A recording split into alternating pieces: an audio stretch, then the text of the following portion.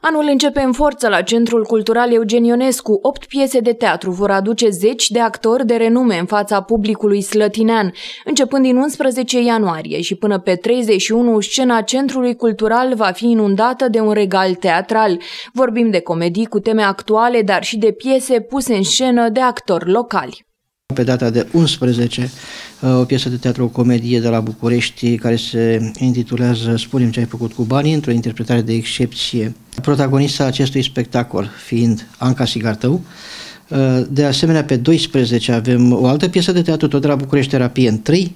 Uh, pe 14, duminica, fiind spectacol de teatru tot de la București, Nastratin, și după aia, pe 15, intrăm în periplul activităților dedicate Zilei Culturii Naționale.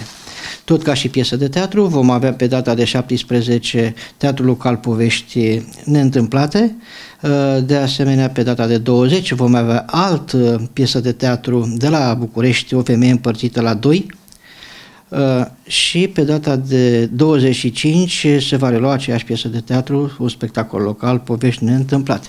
Astea sunt câteva repere în ceea ce privește activitatea în domeniul teatral, deci piesele de teatru care se vor juca în această lună, începând cu data de 11, Totodată, luna ianuarie este și luna culturii naționale sau a poetului Nepereche, când, timp de aproape o săptămână la Centrul Cultural, vor fi organizate mai multe activități dedicate acestui eveniment.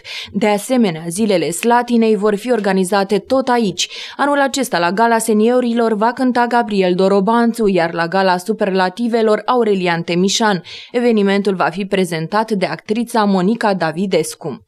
În luna ianuarie pot să vă afirm de pe acum că avem o pusterie de evenimente, atât piese de teatru, cât și evenimente de altă factură, cum ar fi uh, zilele Slatinei, uh, iar ziua de 15 ianuarie pe care o dedicăm de fiecare dată, fie zi, Zilei Culturii Naționale al României, fie marelui poet uh, român Mihai Eminescu.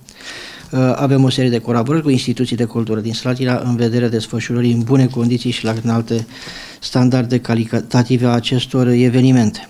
Și lunile următoare se anunță unele pline pentru scena teatrală, dar și cea culturală deopotrivă.